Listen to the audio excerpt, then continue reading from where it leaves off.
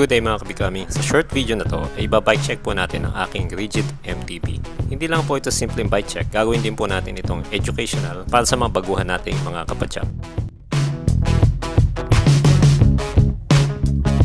Bagong lahat, shoutout at salamat po sa ating mga kapwa content creators at subscribers na sina Team Kapatag, Daxion Jacob, at kay Roadtail Adventures.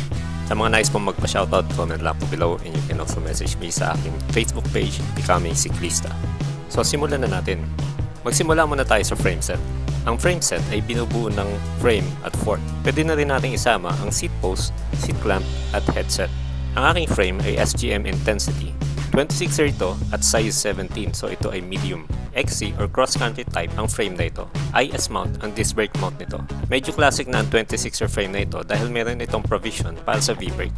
At ang cabling nito ay external at segmented. Sa aking pagsasaliksik, ito ay 2014 model pa. Quick release ang dropout nito at ang head tube ay non-tapered. Ibig sabihin ay pareho lang ang size ng butas sa ibabaw at sa ilalim. Threaded ang bottom bracket shell nito. Ang seat post nito ay lungy na may dual bolt clamping system. 27.2 mm ang diameter nito at may haba na 400 mm. Ang seat clamp naman nito ay bolt type non-branded. Ang rigid fork naman nito ay aluminum alloy 29er o universal. Non-tapered ang steerer tube nito. Hindi ko alam kung anong brand ito dahil bigay lang sa akin ito ni Kuya Ray at repainted na. Ang disc brake mount nito ay post mount. Ibig sabihin, hindi na kailangan ng adapter para maikabit ang disc brake caliper. Ang aking headset ay Mountain Peak HS03. Ang cockpit ay binubuo ng handlebar, stem at saddle. Siyempre kasama na rin dyan ang handlebar grips. At may mga nagsasabi na kasama rin dyan ang pedals so isasama na rin natin. Dahil lahat daw ng contact points ay kailangan isama sa cockpit. By the way, hindi lahat ng siklista ay pare-pareho ang paniniwala sa kung ano-ano ang dapat isama sa cockpit. At kung bakit cockpit ang tawag ay hindi ko alam. So pakicomment na lang po sa ibaba kung alam ninyo. Ang aking saddle ay West Viking. Wala nakalagay kung anong model. But if you're wondering kung anong original ang ginaya nito, ito po ay ang Cell San Marcos Short Fit Saddle. Maiksi lang ito kumpara sa mga karaniwang saddle, kaya nga siguro tinawag na short fit. Medyo sira na yung harapan at burado na yung silver paint. Hindi ito masyadong malambot pero hindi siya masakit sa puwet kahit sa long ride dahil siguro flexible ang gitna nito. Ang handlebar ko ay Foxter dahil ito ay stock handlebar ng built bike na Foxter ni Kuya Ray. Nakipag-swap ako sa kanya dahil gusto ko ito dahil rise. Talagang straight lang ito at may konting back sweep. Pinutulan ko na ito kaya ito ngayon ay may lapad na 600mm na lamang. Kaya napakadaling isingit ang bike na ito sa masikip na traffic. Ang handlebar grips nito ay unbranded foam grips. Meron itong locks na galing naman sa isa pang unbranded grips. Kasama rin sa kinuha ko roon ang bar ends na inilagay ko naman sa loob ng handlebar na nagsisilbi ng mga thumb grips.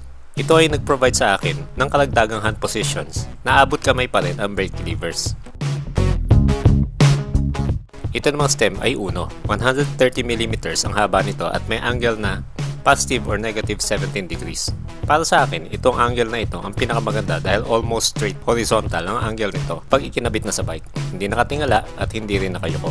Ang aking pedal naman ay Enley sealed bearing aluminum flat pedals. Meron itong limang removable pins sa magkabila. Medyo maliit lang ito kumpara sa karaniwang flat pedals. Ang susunod ay wheel set. Ito ay 27.5. Ang rims nito ay second hand lang na galing sa built bike na Science.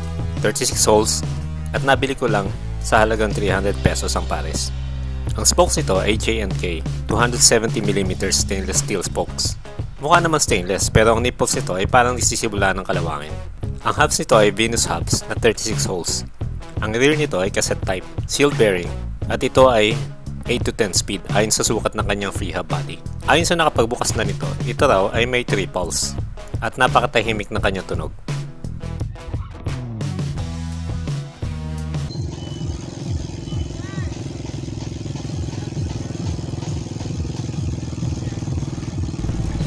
Ang inner tubes nito ay Black Cat na 27.5 by 2.125 hanggang 2.4 na may French valve o Presta valve. Ang aking tires ay Bontrager XR3 Comp 27.5 by 2.2. Ito ay XC o cross country tires kaya hindi ito madulas kahit sa trails na basa at malubak. Kahit may katabaan, hindi ito mabigat ipadyak dahil hindi kalakihan ang mga knobs nito. Next ay ang brake set. Ito ay mechanical. Ang aking brake levers ay unbranded aluminum alloy. Ang brake cables at housing is Jaguar. Ang rear disc brake caliper ay Tolan, while Redland naman ang front disc brake caliper. May ilang nagtatanong kung bakit hanggang ngayon ay naka-mechanical disc brakes pa rin ako.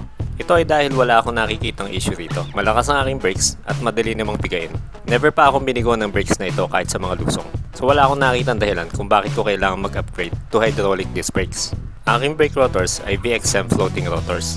Ito ay may diameter na 160mm. Ginawan ko na to ng review at may tutorial din ako kung paano ito ikabit. Hanapin nyo lang sa aking channel. Ang last parts ay ang drivetrain. Ang aking crankset ay XC Jankoon. Ang crank arms nito ay aluminum alloy at 170mm ang haba. Meron ditong 42 tooth, 32 tooth at 22 tooth steel chain rings. Kasama rin sa package ng crankset na ito ay ang seal bearing bottom bracket. Kung makikita ninyo, ito ay may design na katulad ng Halotech 2 ng Shimano pero nakasanayan na nating tawagin itong Halotech. Meron nga pala akong initial review at full review nitong XC Jankun. Hanapin nyo na lang po sa aking channel. Ang aking sprockets o cogs ay Shimano HG200 cassette sprocket. Ito ay 8-speed na may 12 tooth hanggang 32 tooth sprockets. Ang aking front derailleur na kinakalawang na ay Shimeng paired with L2A5 shifter. Ang rear derailleur nito ay Shimano Tourney TZ na napalitan ko na ang tension pulley wheel ng 13 tooth Hassens pulley wheel. Palitin ang RD na ito dahil masyado na malaki ang gewang nitong guide pulley na hindi naman replaceable. Itong RD na ito ay pinarisa naman ng L2A3 shifter na 8-speed. Ang aking chain ay KMC Z8.3. Siyempre, ito ay pang 8-speed at kulay gray talaga siya kaya hindi siya makitab. So yan po ang detailed bike check ng aking Rigid MTB. So hanggang dito na lamang po. Mag-comment na lang po below kung mayroon kayong mga katanungan. This becoming Cyclista, please like this video and do not skip ads. Thanks for watching.